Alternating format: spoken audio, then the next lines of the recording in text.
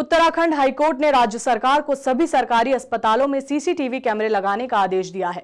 गुरुवार को हाईकोर्ट ने पूछा कि अस्पताल में डॉक्टरों और सहायकों के कितने पद खाली हैं? वहीं दूसरी तरफ़ हाईकोर्ट ने अस्पतालों के कामकाज की समीक्षा के लिए सीसीटीवी कैमरे लगाने के आदेश दिए हैं।